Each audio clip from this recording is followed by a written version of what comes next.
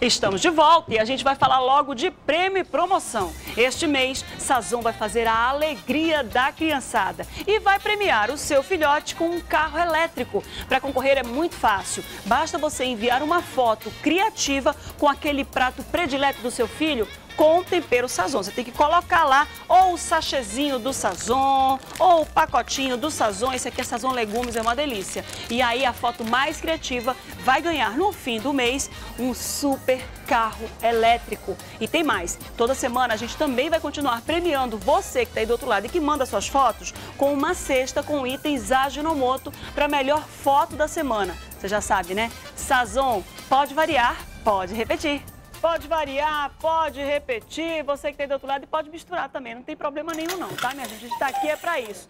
Você que está aí do outro lado acompanhando o programa com bastante calma, meu Deus, isso, devagar, devagar, beleza? Carlinhos contigo, 11 horas e 44 minutos. Você que está aí acompanhando o programa da comunidade, um grande beijo para você que está mantendo contato conosco pelo nosso WhatsApp. Vamos com notícias de saúde apesar de todo o trabalho da Agência de, de, Vigilância Sanitária, das Forças Armadas, um trabalho que não cessou da Secretaria de Estado da Saúde, da Secretaria Municipal de Saúde também, os casos de dengue esse ano, em relação ao ano passado, tiveram um aumento de 94% dá para ti? Imagina só se a gente não tivesse feito tanto trabalho para combater o Aedes aegypti, que é o mosquito que transmite a dengue, transmite o chikungunya e transmite o zika vírus também. Quem traz outras informações para a gente aqui na tela do programa da comunidade é a Priscila Mello, a nossa repórter. Priscila. De acordo com a Secretaria de Estado da Saúde, houve um aumento de 94% dos casos de dengue. De janeiro a setembro deste ano, foram mais de 13 mil casos registrados, enquanto no mesmo período do ano passado foram 6.804. Isso pode ser consequência daquela epidemia da chikungunya e zika vírus aqui na região. Mas olha, tem uma coisa boa, é que os números de malária diminuíram 44%, segundo a Fundação de Vigilância em Saúde do Amazonas. Em 2015 foram mais de 59 mil casos registrados e este ano o número baixou para 35.139. Então, mesmo com essa queda, os órgãos de saúde continuam os trabalhos para a prevenção dessas doenças e para que os números aí deixem de aumentar. Priscila Mello para o programa Agora. Muito obrigada, Priscila Mello. E não que os números deixem de aumentar, que diminuam. Porque se a gente fizer esse parâmetro, como a Priscila trouxe para a gente desse ano com relação ao ano passado, foram 13 mil casos a mais. Então a gente precisa ter uma, uma outra é, vertente em 2017. A gente precisa diminuir isso, gente. Está começando a chover de novo. E é esse período de chuva que mais deixa as, as, a secretaria, os órgãos de saúde, os agentes de saúde preocupados. E quem é que resolve isso? Quem resolve isso? São as Forças Armadas indo para nossa casa? São os agentes de endemias indo lá todos os dias e fiscalizando e fazendo o que a gente tem que fazer? Não. Quem resolve isso somos nós. Nós precisamos combater o Aedes aegypti, que há muito tempo que o Aedes aegypti deixou de ser o mosquito da dengue. Ele agora é o mosquito do chikungunya e o mosquito do Zika vírus, que traz uma preocupação enorme para você que está grávida, para você que está gestante. Então nós precisamos mudar esse panorama na nossa saúde. Nós precisamos diminuir esses casos de doenças transmitidas pelo Aedes aegypti. Por um simples caso, essas doenças podem matar. Com exceção do chikungunya, dengue mata na sua versão é, é, hemorrágica, e o Zika vírus causa um, problema danado com a criança e que pode ficar doente o resto da vida. Fica doente o resto da vida. Então a gente precisa mudar isso. E para mudar isso é tão simples faz a vistoria na sua casa, desemborca aí esse, esse, esses baldes, esses, esses, esses produtos aí que acabam ah, é, acumulando água e, consequentemente, dando a larva né, do Aedes aegypti, o, o, os ovos do Aedes aegypti. Vamos segurar a onda e vamos melhorar nossa saúde. É muita besteira a gente é, adoecer por uma coisa que se pode evitar. Ainda falando de saúde, mas agora de outro problema, principalmente de combate aos cânceres das mulheres nesse período de outubro, né? Nesse mês de outubro, a gente vai trazer para você aí esse mês de outubro rosa, que é o mês dedicado ao combate ao câncer de mama, ao câncer no útero.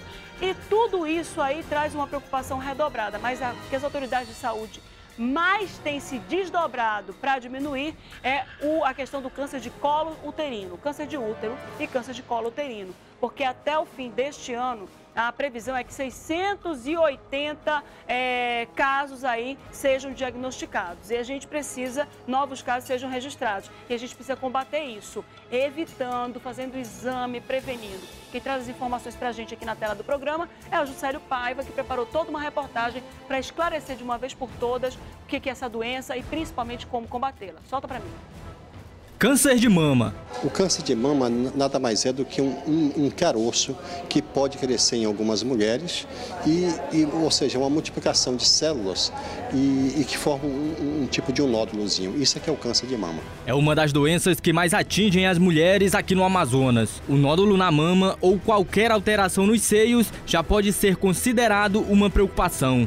Em 60% dos casos, são as mulheres quem detectam por meio do toque na mama. A mamografia são mulheres de 50 a 69 anos. Essa é a faixa etária de maior incidência da doença em todo o Brasil. Então nós precisamos focar abaixo das faixas etárias que eu falei. Se a mulher tiver alguma situação de alteração, alguma sintomatologia, ela precisa procurar o profissional de saúde. Mais de 350 mulheres lutam contra a doença no Amazonas. Por por isso, a prevenção é fundamental. Essa carreta, por exemplo, percorre todas as zonas da cidade oferecendo exames de mamografia. Aqui, o Outubro Rosa é o ano todo. Nós estamos os 365 dias do ano trabalhando na rua para atender a nossa mulher. São oito tipos de ultrações, mais a mamografia e o preventivo. Para realizar esses exames é necessário ter a solicitação médica, RG, CPF, o cartão do SUS e o endereço com CEP. Apesar da campanha contra o câncer de mama ser intensificada neste mês de outubro, é outro tipo de câncer que tem preocupado aqui no estado. O câncer de mama é a primeira causa de morte por câncer nas mulheres no mundo, a segunda aqui em Manaus. Mas o que tem preocupado mesmo as autoridades de saúde do Amazonas é outra doença que tem acometido as mulheres, o câncer do colo do útero.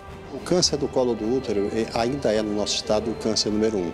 Nós temos em torno de 680 casos de câncer do colo do útero e de mama em torno de 440 casos, dos quais 380 estão acontecendo na capital. Então, essa é a estimativa para esse ano. Para se ter uma ideia da gravidade da doença que surge a partir de uma DST, segundo o Instituto Nacional do Câncer, até o fim deste ano, 680 mulheres devem ser vítimas da doença no Amazonas, 520 só aqui em Manaus. A Tânia é uma que luta contra a doença desde julho deste ano. Eu sentia dor, ferrada, né?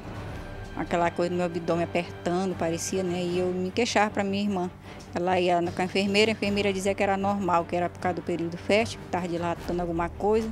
E eu dizia que não era normal. Quando eu procurei a enfermeira, ela disse que era uma ferida, né? O câncer do colo do útero é basicamente uma doença sexualmente transmissível. A mulher tem uma relação sem camisinha, adquire esse vírus chamado HPV e a partir daí ela pode, em algumas situações, desenvolver o câncer do colo. O tratamento que previne o câncer do colo do útero é a vacina contra o HPV, feito em meninas dos 9 aos 14 anos. Os adolescentes homens também são vacinados. A recomendação é que o exame para identificar a doença seja feito a partir da vida sexual. Olha aí. E é principalmente, sabe o que a gente traz de mais importante nessa, nessa reportagem aqui do Juscelio Paiva?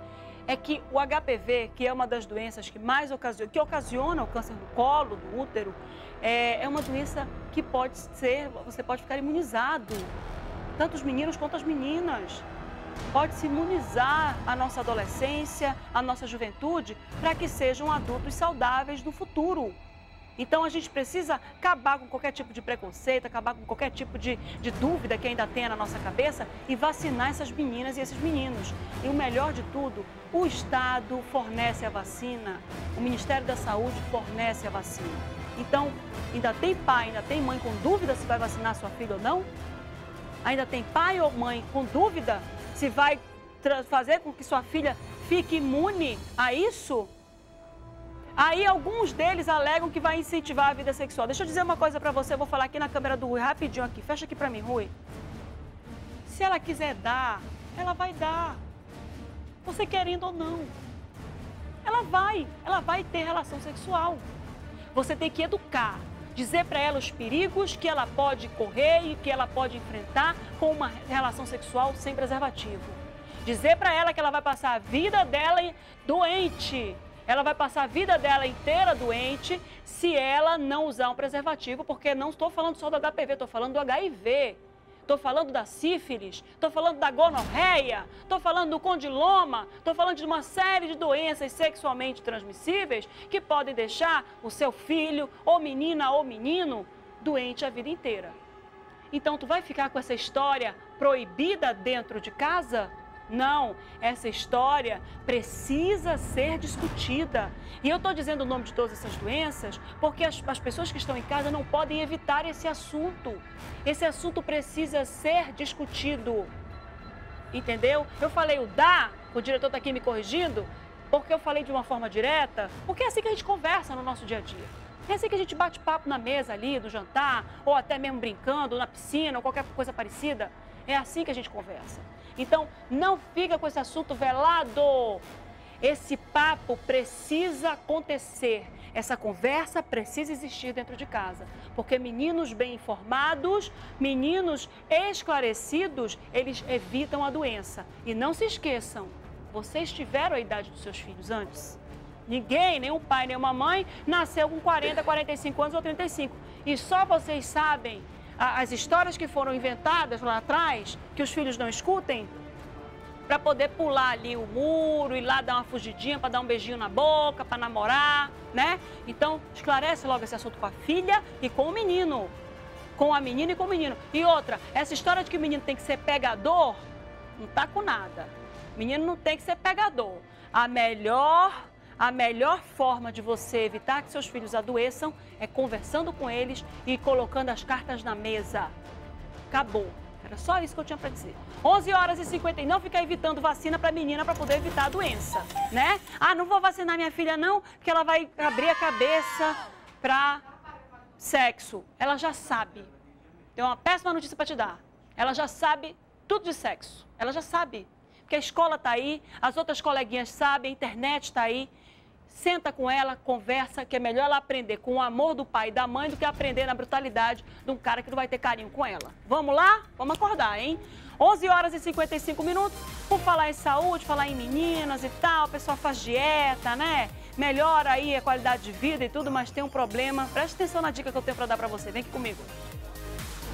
Eita, tem coisa mais chata do que celulite? Hum, tem não, né? Mas eu tenho uma solução para você. Dê adeus às celulites em até oito semanas com a ajuda do Imecap Celute. Dá uma olhada aí nesse depoimento.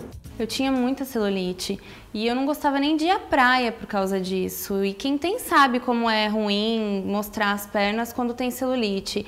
Então eu resolvi testar algum produto. Fui na farmácia e uma mulher lá me mostrou o Imecap Celute e eu adorei. Estou usando já há umas quatro semanas. Estou super satisfeita com o resultado. Eu passo creme diariamente, tomo as cápsulas e eu estou achando maravilhoso, super satisfeita. Você viu? Você acabou de ver o depoimento de quem usou e comprovou a eficácia do Imecap Celute. Imecap Celute funciona mesmo. Imecap Celute é completo. É o único a unir cápsula e creme. O creme age nas celulites mais resistentes, diminuindo o aspecto de laranja. Já as cápsulas agem nas camadas mais profundas da pele, quebrando as moléculas de gordura e eliminando as celulites. Estudos clínicos já comprovaram a eficácia do Mecapselute. Comprove você também. E Mecapselute está à venda em todas as farmácias do Brasil, mas a preços promocionais somente nas drogarias Angélica e Farmabem.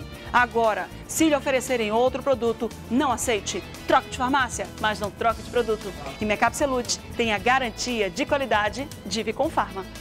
11 horas e 57 minutos. Você que está do outro lado acompanhando o programa da comunidade, eu quero saber se o Gesiel está mesmo por dentro dessa mesa que ele está aí coordenando a mesa do Ricardinho, a mesa operadora de áudio. Gesiel está aí. Eu quero saber o seguinte, Gesiel. Dá uma, levanta o braço aí, Caboclo. Levanta o braço. Isso. Ricardinho, ele está desprogramando toda a tua mesa de áudio, mas quando você chegar, você arruma.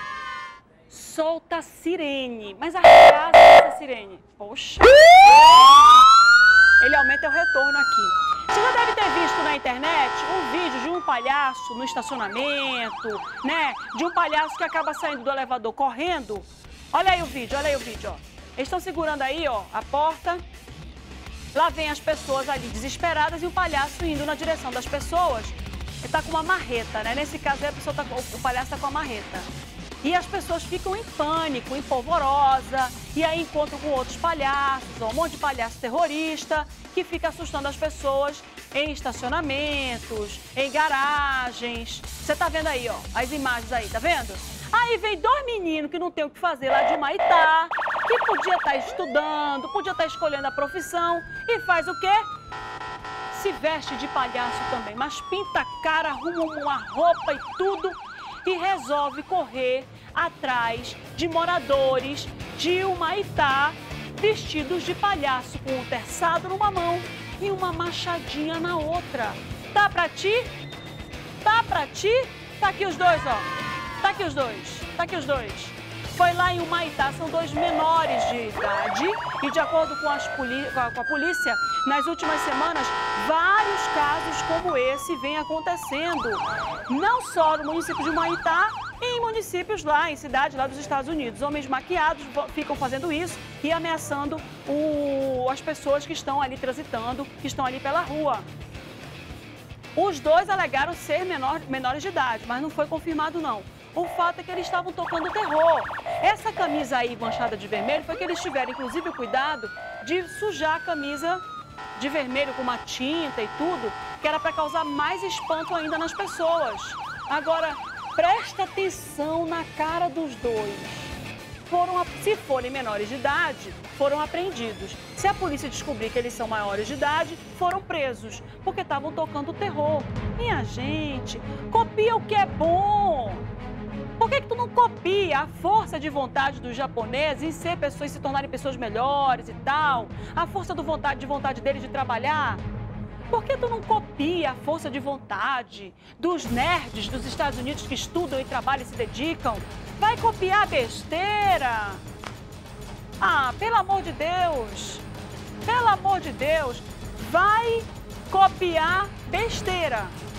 Aí, tá aí, ó um monte de palhaço falsificado que vai responder processo na justiça. Eu acho é pouco. Como se fosse só isso a falsidade que a gente vai trazer hoje no programa, né, Ivan? Tem mais falsidade também. Gente, olha só o que aconteceu.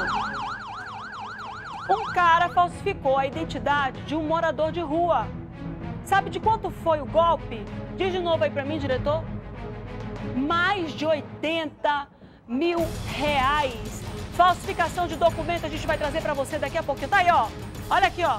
Se você foi vítima dele, corra, minha filha. Corra porque ele é um estelionatário que aplicou um golpe de mais de 80 mil reais e agora está lá no 14º DIP preso. Lá na delegacia, você pode ir lá e fazer a denúncia contra ele. É já já, depois do intervalo. Vários, vários lugares para poder chegar a esses 80 mil, viu? Não foi só um golpe, não. Foram vários golpes. É já já, depois do intervalo.